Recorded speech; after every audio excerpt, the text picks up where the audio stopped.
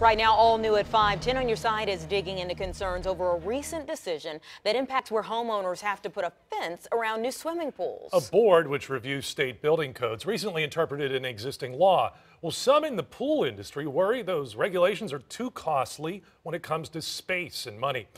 10 on your side's Erin Kelly joins us now to explain these rules and some of the alternatives. Yeah, state law says there needs to be a three foot clear space around a fence that encloses a pool. And according to the recent interpretation by the board, that three foot space has to start at the property line and come in. And some are worried that change could be costly. Ed Coiner is putting a pool in the ground for a customer in Chesapeake.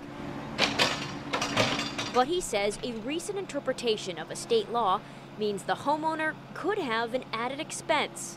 For example, this lady has to go around a complete yard and put another fence up four to six feet, three feet off the property line.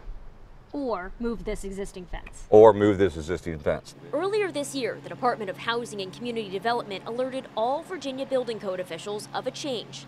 The department says a technical review board was asked to give a legal interpretation of a law and decided the law requires a three foot clear zone between the property line and the fence around pools.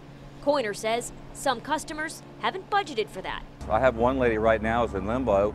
She may decide not to do her pool, which is $30,000. That's a $30,000 job that I'm not going to make profit off of, and she's not going to get her pool. Coiner learned of the change and reached out to Chesapeake City Councilman Robert Ike. I think it's uh, some a decision that was made with uh, unintended consequences. Ike has reached out to members of the General Assembly. I think this ought to be uh, held in abeyance or, or not enforced until we get a, a ruling either from the Attorney General or the matters brought before the state legislature. Now, according to the Department of Housing and Community Development, if the homeowner can't move the existing fence three feet in from the property line, they can put a second fence directly around the pool get an automatic pool cover, or get a legal change to the deed that says the neighbor's fence is in that clear zone. Now, the department says a working group will be discussing all of this next week. Erin Kelly, 10 on your side.